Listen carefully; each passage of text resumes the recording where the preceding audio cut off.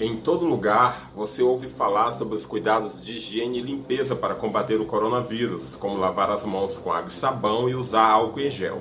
Mas você já reparou que poucas pessoas falam como manter a saúde emocional nesse período?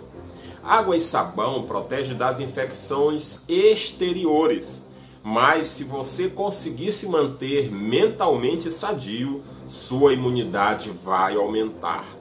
O contrário disso também é verdadeiro.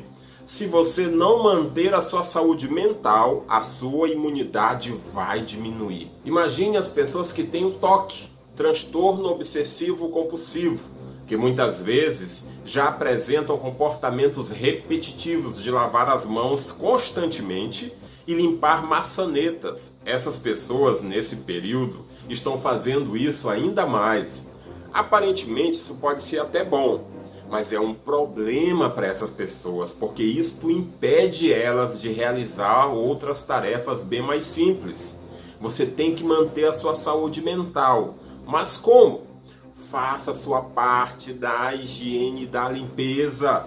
Mas você está em casa, você não precisa de 5 em 5 minutos lavar as suas mãos, que você não teve contato com ninguém. Lave na hora do café, do almoço, do jantar ou quando você tiver que usar o banheiro. Você tem que mudar sua rotina para não ficar com os costumes de quem tem toque, transtorno obsessivo compulsivo, porque isso vai te impedir de realizar atividades mais simples, vai aumentar tua ansiedade e vai diminuir a tua imunidade. É hora de cuidar da tua saúde emocional.